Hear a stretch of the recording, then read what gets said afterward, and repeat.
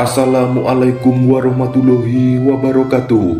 Sungguh mengejutkan, sering sakit-sakitan, Ustadz Danu ungkap jin penglaris yang dimiliki Irfan Hakim ke publik.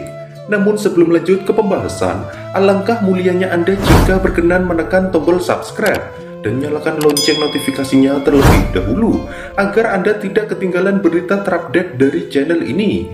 Jika sudah, mari kita simak videonya sampai akhir.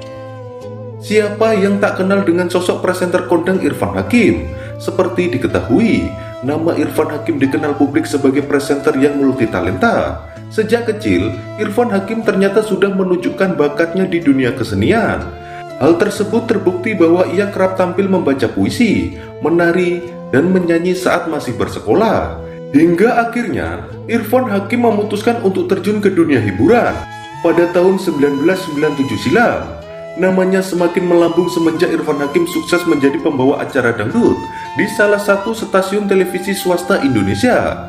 Selain itu juga, Irfan juga kerap membawakan acara rohani, salah satunya siraman kolbu MNC TV. Di acara tersebut, Irfan memandu acara bersama Ustadz Danu. Chemistry keduanya sangat apik dan membuat program acara tersebut digemari banyak orang. Namun, pada pertengahan tahun ini, secara mengejutkan Irfan memutuskan untuk mundur dari acara tersebut. Alasannya karena Irfan Hakim harus mengurusi anak-anaknya. Namun, diketahui sebelumnya bahwa Ustadz Danu sempat membongkar riwayat gaib di dalam tubuh presenter Irfan Hakim. Menurut Ustadz Danu, makhluk gaib itu sudah bersemayam di tubuh Irfan Hakim sejak lama dan merupakan keturunan. Ustadz Danu juga mengungkap bila makhluk gaib sebangsa jin di tubuh Irfan Hakim juga dipakai untuk penglaris artis. Hal ini seperti yang disampaikan Ustadz Danu dalam sebuah video yang diunggah di kanal YouTube The Hakim pada Senin 14 Oktober 2019.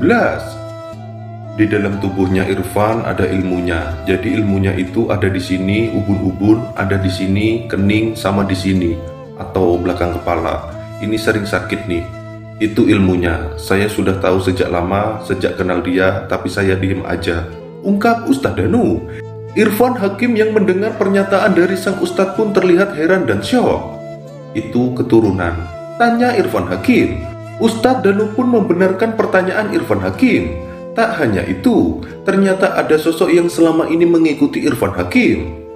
Itu keturunan sama ilmu narinya ada, karena saya lihat ada sosok bertopeng. Ungkap sang ustadz.